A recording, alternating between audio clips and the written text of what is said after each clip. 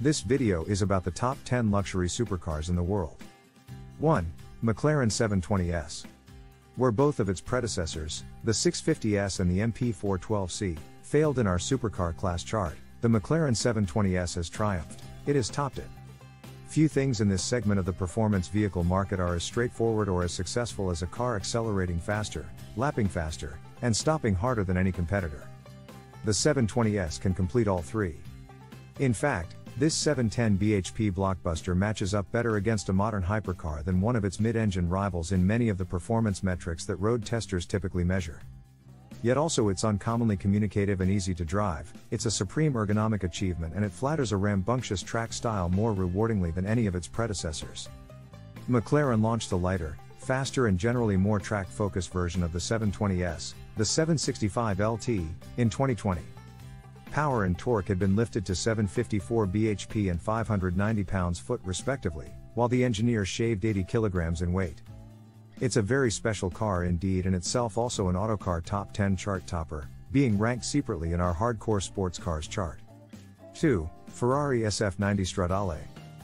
This successor of sorts to the LaFerrari hypercar is the most powerful road car in Ferrari's history. The car also set the quickest lap time around the firm's Fiorano test track. Oh, and it's a plug-in hybrid that can travel for up to 15 miles on electricity alone. The SF90 Stradale is a very different kind of Ferrari, then. It makes use of a heavily reworked version of the 488 Pista's twin turbocharged 3.9 liter V8, which is complemented by a trio of electric motors that raise the Ferrari's total power output to a staggering 986 bhp, allowing for a 0 to 62 miles per hour time of 2.5 seconds. It's a technological tour de force for sure yet, despite the additional weight that the powertrain brings, it's still just as incisive. Intuitive, engaging and devastatingly quick as you would expect a mid-engine Ferrari to be.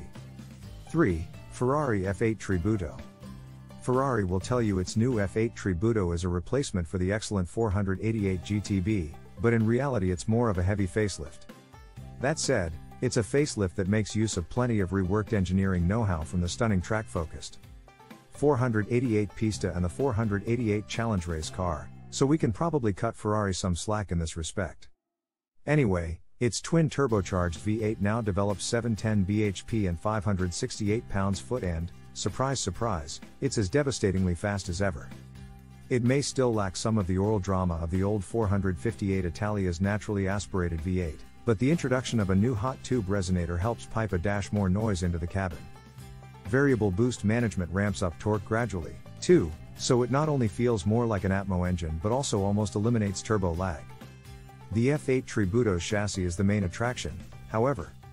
Not only does it make the engine's stratospheric performance accessible but it also endows the car with otherworldly levels of agility, balance and handling panache. Make no mistake, this is a sensational supercar.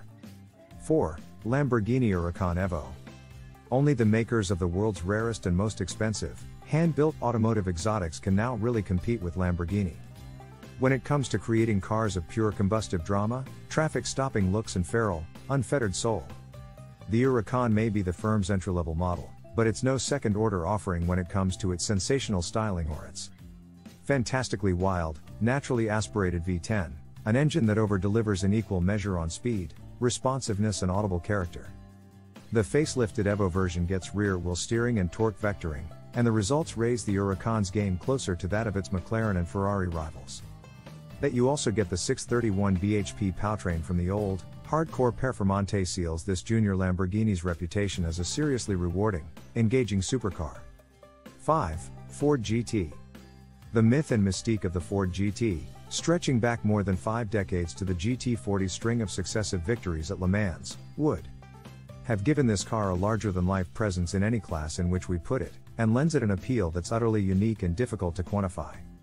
The car having originally resurrected in 2005, this third coming of the motoring legend is a cleverly conceived road-going version of Ford's World Endurance Championship racer. Available in left-hand drive only, it has a chassis and suspension more exotic than almost any rival, and an engine adapted from that of the F-150 pickup truck.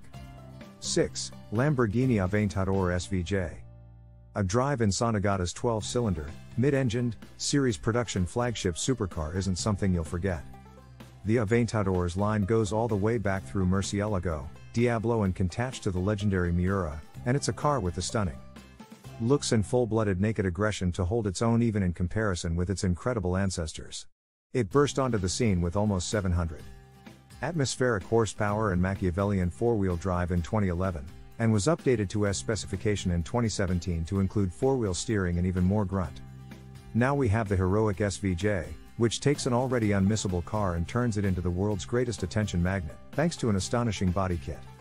7. Noble M600. This ultra low volume, hand built British supercar bears the name of the man behind the memorable late 1990s M12 sports car, although it's made by a Midlands firm that no longer has anything to do with him. It's still built, mind you, to suit specialized tastes that Lee Noble may approve of, with lightness and simplicity, with the purity of a manual. Gearbox and rear wheel drive, without anti lock brakes or electronic driver aids, and for those who like their performance cars raw, direct, and big on pace, excitement, and involvement. When it was introduced, its 650 bhp Yamaha turbocharged V8 was potent enough to place it well clear of the average mid-engined exotic on power and torque. These days, it's less of a clear on paper draw, but it continues to produce a massive swell of acceleration for the M600 that has to be felt to be believed. Handling is at once super purposeful and amazingly interactive and adjustable with it, although the car's ergonomic layout and cabin finish leave a bit to be desired. 8. Aston Martin Vanquish. Aston Martin is set to revive its Vanquish nameplate when it launches its own mid-engine rival to the likes of the McLaren 720S and Ferrari F8 Tributo. The car was previewed at the 2019 Geneva Motor Show in Vanquish Vision concept form and is expected to make use of a hybrid engine from Mercedes AMG. A new bonded aluminium architecture will underpin the car. Production is expected to commence at Aston Martin's Gaydon facility in 2022 with prices likely being around the £250,000 mark when it eventually hits the market. 9. Aston Martin Valhalla. Aston Martin refers to Valhalla as the son of Valkyrie, but that's not to say it should in any way be thought of as a lesser supercar.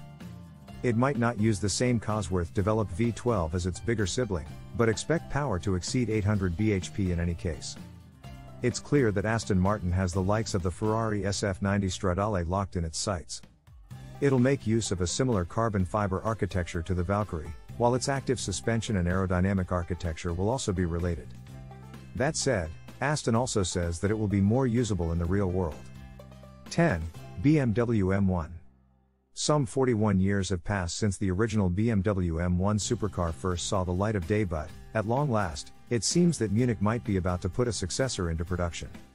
The recently previewed Vision M Next concept will make its public debut at this year's Frankfurt Motor Show, and BMW has already said that it plans to deliver on what we promise, suggesting that the firm is seriously considering putting the car into production. Insiders have already told us it's likely the car will be introduced as a limited run model ahead of the launch of the second generation i8. Power is thought to come from a four cylinder petrol engine mounted behind the driver, which is complemented by two electric motors for a total power output of 591 bhp. Its 0 to 62 miles per hour time is thought to be around the 3.0 seconds mark, while an electric only range of more than 62 miles is thought to be possible. What do you think of our video? Let us know in the comments section below. Before you go please hit the like button and subscribe to my channel. Thank you for watching.